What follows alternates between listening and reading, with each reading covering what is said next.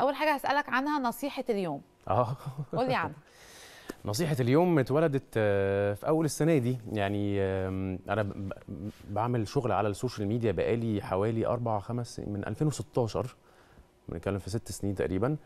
آه، السنة دي قررت إن أنا هبتدي أعمل حاجة اسمها نصيحة اليوم لأن في نصائح كتير قوي بنشوفها بتبقى مكتوبة و- وبتعدي علينا كده مرور الكرام. فقلت طيب طالما بنقرأ الحاجات دي وبنقتنع بيها قوي ساعتها وبنعمل like وبن comment عليها ونبعتها لأصحابنا طب ما ناخد الحاجات دي ونترجمها ونخليها بلغة بلدنا وبسياق نقدر نفهمه كلنا على أساس إنه في ناس كتيرة قوي قوي قوي طالعين الحياة دلوقتي وشباب لسه في الجامعة ولسه في المدرسة ما عندهمش خبرة في الحياة.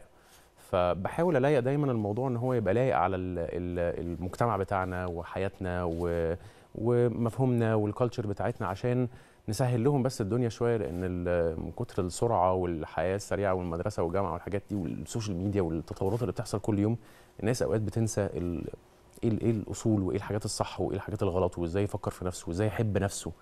فده اللي أنا بعمله عشان أحاول أساعد الناس إن هم يوصلوا لل- للحب النفس وإن هم يعرفوا يتعاملوا مع الحياة بطريقة أحسن شوية. ونصيحة اليوم أنت بتعملها حاجة يومية؟ يومية. يعني مثلا النهارده كانت إيه نصيحتك؟ النهارده لسه ما نزلتهاش. هتنزل إيه؟ غششنا بقى من بدري بدري. النهارده آه والله مش فاكر هم إيه بالظبط لأن أنا حاطط خمسة عندي على التليفون هنزل واحدة منهم النهارده بس آه خلينا كمان شوية نبص عليها واقول لك خلاص خلي